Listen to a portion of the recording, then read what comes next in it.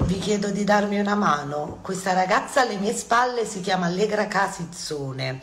Uh, manca da stamattina, dalla tarda mattinata, più o meno da Trieste. Vive a Trieste con la madre e si chiama Allegra Casizzone. Questo l'appello diffuso sui social network dalla famiglia dopo la sua scomparsa nel pomeriggio di ieri. Prima il padre Sergio, che vive a Napoli, pubblica alle 16.15 un tweet con l'annuncio della scomparsa. Poi la madre va a fare denuncia ai carabinieri di Via dell'Istria. La madre stessa, infatti, ha trovato in casa il cellulare della figlia senza la scheda SIM. La giovane avrebbe riferito ad un amico in mattinata che avrebbe staccato un po' dai social. La ragazza avrebbe con sé anche una discreta somma di denaro. Questa la descrizione della diciassettenne. Ha 17 anni, è alta più o meno 1,70 m. Uh, qualcosa in più, ha gli occhi molto azzurri e i capelli non sono del colore che vedete nella foto ma sono rossi.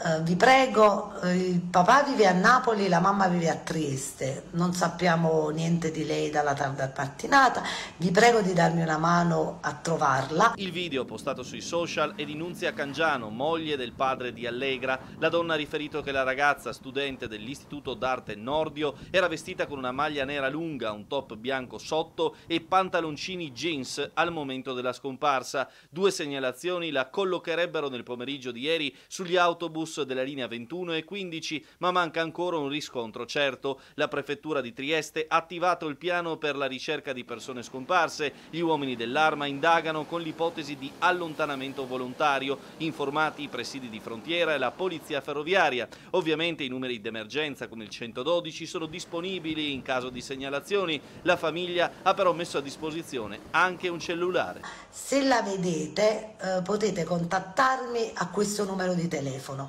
333 50 61 812. Io mi chiamo Nunzia. Grazie mille. Se mi potete dare una mano ve ne sarò riconoscente. Grazie.